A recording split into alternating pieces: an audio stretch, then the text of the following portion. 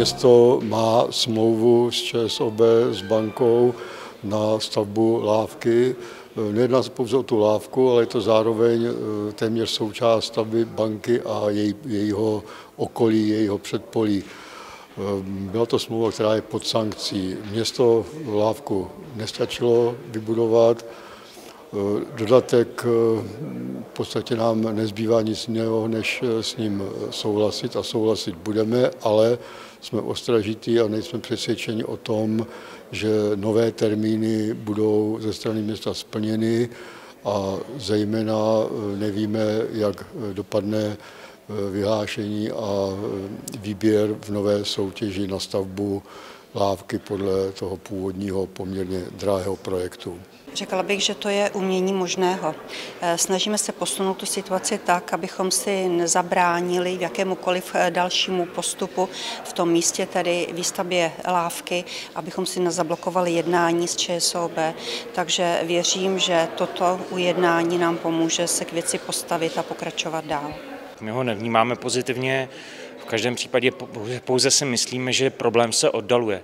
Pokud my máme do tří let znovu postavit tu lávku i tento projekt, tak to nevidím reálně, protože pokud se podíváme, jakým způsobem se nyní realizují vlastně investice, tak vlastně se pouze oddálil ten problém a my jsme ze strany ČSOB tlačeni pouze do jedné varianty a nemyslím si, že je to úplně šťastné řešení, to, co máme dnes na stole. Tak já jsem zejména rád, že se podařilo najít dohodu s ČSOB ve smyslu okamžitého neplacení té sankce, která byla v minulosti v té smlouvě kupní sjednána.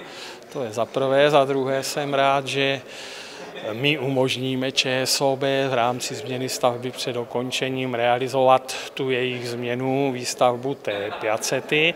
A pak jsem samozřejmě rád za to, že budeme po čtvrté tedy soutěžit lávku přes Labe s tím, že pevně věřím, že se podaří vysoutěžit zhotovitele. Co se týče této věci, tak já myslím, že tady ten moje vyjádření bude asi velice stručné, protože tady to je výsledek dohody vlastně mezi městem a tou bankou, takže tady my jsme u těch, u těch jednání nebyli, takže důvěřujeme v to tedy, co bylo vyjednáno vedení města. A myslíme si, že asi v tuhle chvíli to je potřeba podpořit, protože byly tady sankce vlastně ze strany té banky, která kupuje pozemky, takže to se podařilo teďka oddálit. Nemáme úplně moc velký nadšení z toho, že se znova vrací do hry ten záměr lávky v té podobě, která se už třikrát ukázala jako nepříliš životaschopná, tak uvidíme, co bude po čtvrté a to je asi jediný takový problém, který tady vidíme, takže doufáme, že z toho nebude čtvrté fiasko a že se teda podaří dotáhnout ten prostor nějakým způsobem a bez nějakých dalších zbytečných tahanic nebo škod pro město. Já bych ani tak nehodnotil dodatek, je to takový pokus o to celou tu věc napravit po tom třikrát spackaném výběrovém řízení. Když se vědělo, že dotační peníze na to jsou, tak se mohlo přistoupit už v minulých výběrových řízeních na vyšší cenu a bylo by to dneska v pohodě, bez hrozby té pokuty ze strany ČSOB a jsem rád, že se to posune někam a že se to možná posune k tomu, že se celá věc ČSOB dohodne, neboli s tou jejich nástupnickou firmou, tak, aby se lávka postavila, aby fungovala. Protože pro Hradec Králové má význam nejenom pro tu ČSOB, Mimo jiné to byla podmínka výstavby té budovy tím, že tam bude ta lávka. Jinak by do Hradce Králové nešli s tou budovou. A pro Hradec je to i výborné v tom, že to úžasně propojí centrum města s Šímkovými sady, s tou rekreační zónou v centru města. Tak já jsem pro. Ten dodatek má svá rizika pro město, ale obáváme se, že jiné řešení není.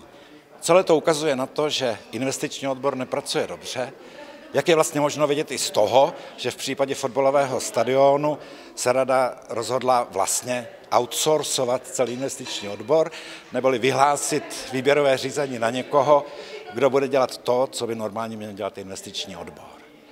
Možná do budoucna, že kdyby se ty peníze za outsourcování dali tam, aby se sehnali kompetentní odborníci a mohli se zaplatit za ty peníze, že by to bylo lepší řešení. Ale teď nám nic jiného nezbývá.